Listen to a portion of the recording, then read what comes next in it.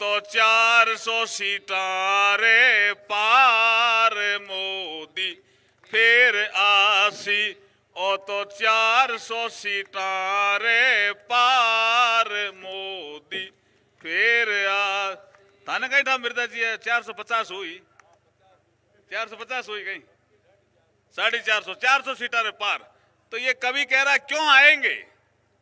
मोदी जी दोबारा।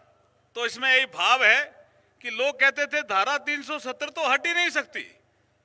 जम्मू कश्मीर विधानसभा का प्रस्ताव चाहिए, वो है नहीं और वो हो भी नहीं सकता।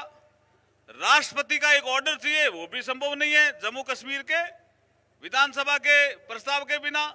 लेकिन ये मोदी है मोदी है तो मोदी है तो और ये संभव क्यों हुआ? पीडीपी की सरकार बनी। सुमित जी लोगों ने कहा पीडीपी से बीजेपी का समझौता? ये क्या हुआ? नरेंद्र मोदी जी के मन में वही चल रहा था 370 मुझे समाप्त करनी है। ये देश के साथ अन्याय है। पीडीपी की सरकार चली नहीं, और उसके बाद सरकार बनाने के लिए जब बात आई तो सरकार बनी नहीं। बनी नहीं तो राष्ट्रपति शासन लागू हुआ। लागू हुआ तो छह महीने के बाद वो विधानसभा भी सस्पेंड हो गई। तो विधानसभा रही को नहीं तो विधानसभा के पावर लेफ्टिनेंट गवर्नर में आ गए। मनोज सिन्हा में। तो मनोज सिन्हा का प्रस्ताव ही विधानसभा का प्रस्ताव हो गया। राष्ट्रपति जी ने भी ऑर्डर जारी कर दिया। काम हो गया नहीं भाई जी? का को नहीं हो? सीआर साहब बताओ। हो गया ना? तो ऐसा क्या हुआ कि चुटकी में वो 370 हट गई जो लोग कहते हैं, हट ही नहीं सकती। इट इज़ इम्पॉसिबल ऐसा बोलते थे पत्रकार।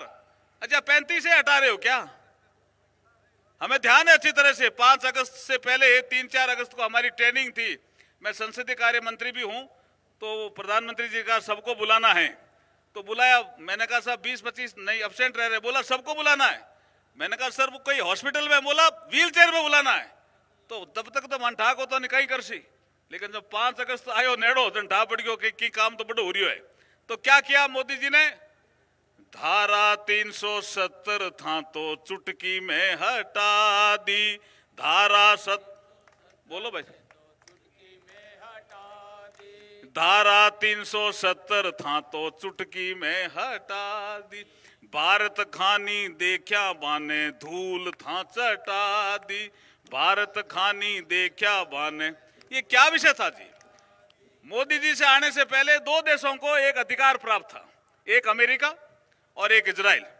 वो घर में घुस के मार सकते थे। दूसरे और भी बड़े देश थे।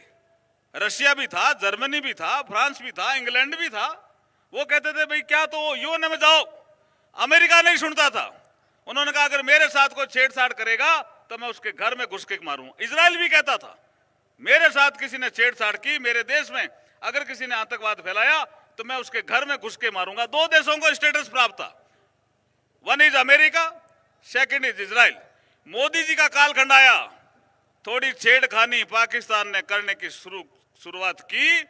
तो प्रधानमंत्री नरेंद्र मोदी जी ने सर्जिकल स्ट्राइक के माध्यम से और एयर स्ट्राइक के माध्यम से पाकिस्तान के घर में घुस करके पाकिस्तान के आतंकवादी आगतों को समाप्त किया। ऐसा काम मोदी जी ने किया। इसलिए वो कभी कहता है कि मोदी जी फिर आसी धारा 370 था तो चुटकी में हटा दी। धारा 370 था तो चुटकी में हटा दी। भारत खानी देखा बाने धूल था चटा दी। भारत खानी देखा बाने धूल था चटा दी। अब सारे देश ने बेरो, मोदी जी फिर आसी। अब सारे देश ने बेरो, मोदी जी फिर आसी। फिर आसी रे, मोदी फिर आसी। फिर आसी रे मोदी, फिर आसी। ओ तो चार सौ सीटा रे पार मोदी, फिर आसी। ओ तो चार सौ सीटा रे पार मोदी, फिर आसी। तो मोदी जी फिर आई। आई नहीं भाई जी? भाई साहब बताओ, आई ना? पूरा देश कह रहा है।